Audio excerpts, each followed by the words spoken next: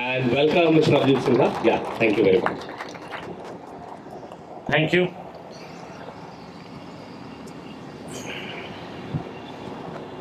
This is railway station, right? In the back. And this sound which you are listening is railway engine sound, right? When I was kid, it used to run on diesel. Today it runs on electric. Recently, clap for yourself, India has done complete electrification of your tracks.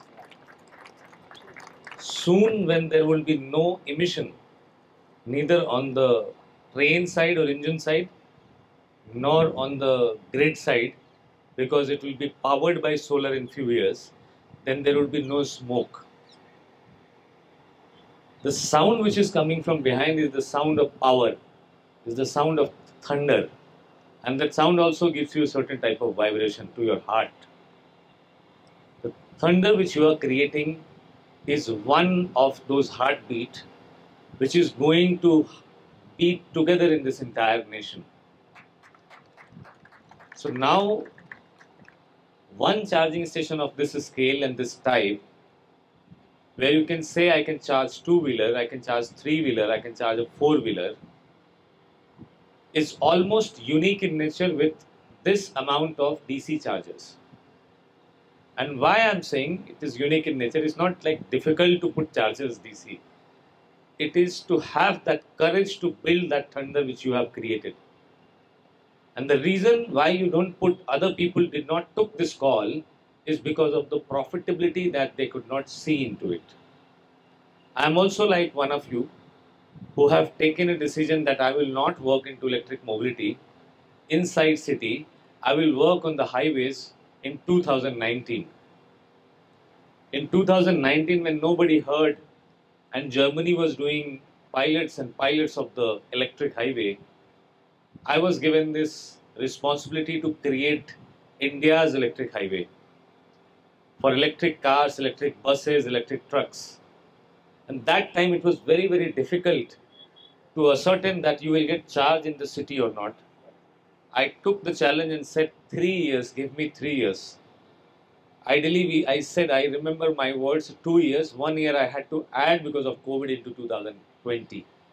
Give me two years, I will make highway charging infrastructure profitable. And today, the project which is called National Highway Electric Vehicle, after commissioning and doing successful technical trials between Delhi, Jaipur and Delhi, Agra, it is expanding to 5500 km from Delhi to Kanyakumari from Bharatmala and Sagarmala. This 5500 km also crosses Hyderabad. You can seamlessly go work and the best part is what I connect with you is it is profitable, it is not loss making. It is not the charger which is purchased by the government from the government pocket, from the taxpayers' money, and which does not have a return, which does not have a utilization, which does not have a yield. So, my dear friend, all of you who have started this initiative of a very interesting term that Rajiv has coined is charge pe charcha or charcha pe charge और चाय पे चर्चा चाय पे charge चर्चा पे charge और चाय पे चर्चा this all are all are almost same and fortunately i'm the one who was in the campaign of chai pe charcha so it's very correlating to me that if you are by the time finishing your tea or snacks whatever if your vehicle is getting charged it is immeasurably very very impressive to create an ecosystem which fits into the pocket of people People do not want to wait for a long period. On highway story is different. There is no wait. There is only a five minute exchange wait, but that's technically different. Now, the coming stage, the coming time, your position, your importance, your efforts, your dedication, these four or five things which you are putting up in your from your personal life, from your professional life, to build an ecosystem like this, you need not to worry about few things and which I wish to tell you today. And this is a story. And I think there are there are women, there are ladies in the crowd who are listening to me. There are people who are associated with their mother, with their parents, sitting young guys and girls, will be also be able to relate with me that what I am telling you is in a story of middle class. In middle class, if you look at the expenditure spectrum, the biggest expenditure of a middle class is the expenditure of their rent of the house. Am I right? Are you with me?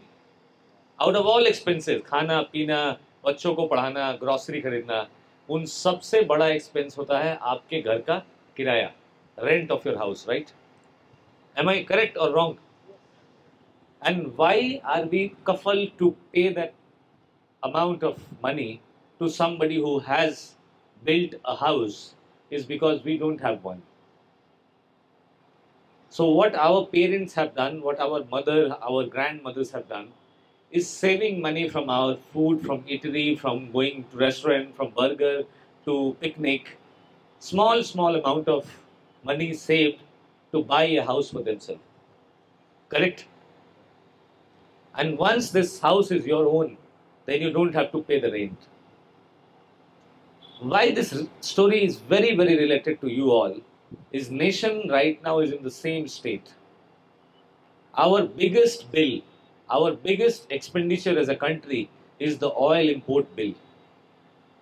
And the way you don't have control on the landlord, he can increase the rent because Hyderabad is now a very wonderful growing city and I have decided to increase your rent to double. You pay or you leave. It happens or not? It happens. If it happens to a war between Ukraine and Russia, the crude oil price goes up and you have to pay. You can't say anything because your biggest bill, your biggest handcuff on economy, the small, small money that we spend, that we save from food processing, from export, from pharma, from any sort of hospitality, leather, textile, all this sector earn little bit of money and they contribute to the national economy and we go and we pay that money. We can't have a choice. Because we cannot live without fossil fuel. We cannot live without petrol, diesel and these gases. We have to buy our ecosystem, our vehicle, our industries, our household, our apartments, everything is running on these fuels. So as a country, I see myself, my finance minister, on the place of your mother, your grandmother, who has to save small amount of money from different different equation, and then they have to build a green economy. This green economy has two numbers which I am willing to share with you. It would not be possible if we will not be able to reduce these two numbers. Our export is high, our import is high, our export is low. So manufacturing is one number. Second, our logistic cost is out of the GDP cost. GDP, I, I'm sure you all understand the national budget, national expenditure, is 17% to 14% right now. And technically, we wish to reduce this to one digit, means 7 to 9%. 14 15% of our total expenditure, total GDP, we are spending on logistic, on these vehicles, on these trucks and buses. And do you know how much we spend on health?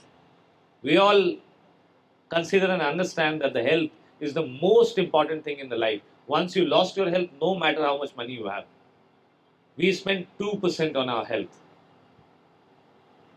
and 17% on the logistic. So this logistic cost will only be able to come when we will have charging stations like this which can charge two-wheeler, which can charge three-wheeler, which can charge four-wheeler. Also in coming time trucks and buses. These numbers, these efforts will be able to create and transition between what you are using today. If you call for somebody, somebody comes to visit you, you have to go somewhere, you have to go to your village, picnic, travel, tourism, or somebody coming to see you in the city. All of this require mobility. All industries, right from aviation to agriculture, automobile to leather, textile to steel, each one of them, they require power to run their factories, to run their plants. And the second thing that they require is fossil fuel to make their finished product reach market. These two together contribute more than 35% of the emission. 35% of the, I'm not right now talking about 17% of the expenditure. If in coming time India has to reach on that level where we have calibrated to reach, where we have planned to reach, aspired to reach, trying to leap forward, we will have to reduce our cost in two manners, our logistic cost and the other export increase and import decrease. Your role into this is to look at each and every sector, whether it's Swiggy, Zomato, Flipkart, Amazon, whether it's food, whether it's flour, specs, shoes, socks, or medicine. Everything, when it is reaching to its consumer, it is consuming an amount of fuel. And each one of them, they are the opportunities for business. Each one of them required an intensive audit to understand that whether a cleaner, greener, and sustainable mode of transport can be offered to them or not. And when you say that we will be able to do this, we will be able to create this, then every house, every building, every household, every shop, mall would have charger. So why I said these five things to you is because you are into this business and this business is not going to see any downfall into next at least 40 years. Today you are into 2024 and India has a plan to decarbonize its complete economics, its complete structure of economy cross sectors by 2070 amounting an investment of around 10 trillion dollar. So if it is tomorrow a shining industry, a shining ecosystem of business can be predicted with folded eyes. It can be electric mobility, it can be hydrogen, it can be solar, it can be something which has something related to the decarbonization. So your time, your energy, your dedication, your efforts that you are putting up today, maybe on a one charger basis, maybe on a company level, project level, product level, it does not matter, it is all going to pay you back. And when you see what I said that each house will have a charger, then very soon you will also have Har Ghar charger. Absolutely, that's the way you guys are working. You guys are facing and tracking your dreams. This is what deserves a national compliment. Please accept my compliments and a clap for all of you, which has reached to this level, and this is not a very nascent level, I'm telling you. I don't want to criticize any of the institution who has done purchasing on the taxpayer money, but taxpayers are sitting here, so I can say lot of purchases have happened from the government pockets, government institutions, which are not working right now. Most of the time, I see articles in the newspaper who are saying there are charges purchased from the government orders. They don't have the gun, they don't have the connectivity, they don't have parking, they don't have anything. In last few years, what we have done, we have got a learning that whenever we are putting up charger, we have to look at the ecosystem. Ecosystem of which are the people going to use this and how we are going to power this. If you are going to power it with solar, that's the best thing which can happen. If you're going to power it with wind, that's the finest thing which can happen. But if you are even not powering it now, then you should look into that direction. That when it could be possible to power such charging station by a grid or not directly by a grid by installation of solar, but you can also do the power purchase agreement of the green excess. So with this, I would reach to the last point of complimenting each one of you that your role is the role of building that house which our parents wanted to come, wanted to build. The most profitable business in over period of 20 years, which is correctly has changed the lives of people, were the real estate, nothing else. People who invested into land and the building, infrastructure and the highway and road, they become millionaire and millionaire. So if you are today building that house which nation want, which our grandparents wanted, which our parents wanted to save for so that they don't need to pay rent, then you are building this house that the nation will not pay the rent of the fossil fuel. With this, I extend my best wishes and compliments to each one of you, partners, players, investors, speakers, panelists, those who are using it into involved into installation, product development, R&D, also into business teams, marketing, and making this word possible that Har Ghar Charger and Charge Pe, Charcha or चर्चा करते करते charge, चाय पीते पीते Thank you, each one of you. Let's move ahead with the program.